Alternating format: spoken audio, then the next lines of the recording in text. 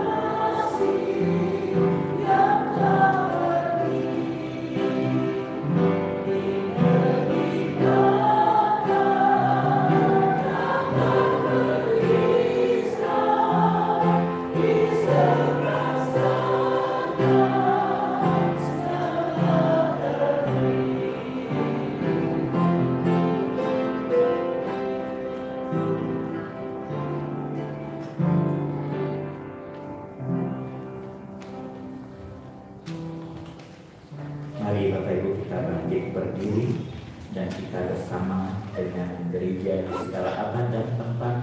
Dan seperti ini juga pengakuan iman dari almarhum Bapak Hartono se- semasa hidupnya. Bersama-sama kita menyatakan Aku percaya kepada Allah Bapa yang Maha Kuasa Kalik langit dan bumi dan kepada Yesus Kristus anaknya yang tunggal Tuhan kita yang dikandung dari Roh Kudus, lahir dari anak darah Maria, dan menderita sengsara di bawah pemerintahan Pontius Pilatus, disalibkan, mati dan dikuburkan, turun ke dalam kerajaan maut. Pada hari yang ketiga, bangkit pula dari antara orang mati, naik ke sorga, duduk di sebelah kanan Allah Bapa yang Maha Kuasa, dan di sana dia akan datang untuk menghakimi orang yang hidup dan yang mati. Aku percaya kepada Roh Kudus, gereja yang kudus dan am, persekutuan orang kudus, pengampunan dosa, kebangkitan orang mati dan hidup yang kekal. Amin. Silakan duduk kembali. Dan saudara mari kita bersama-sama kita menaikkan doa. Bapa di sorga, kami semua cepat atau lambat akan tiba di garis finish. Terima kasih pada hari ini kami diingatkan tentang tanggung jawab dalam hidup keluarga-keluarga beriman kepada Tuhan. Biarlah kami boleh seperti almarhum yang sudah berpulang lebih dahulu. Kami boleh memelihara iman kami sampai. Terpujilah nama Tuhan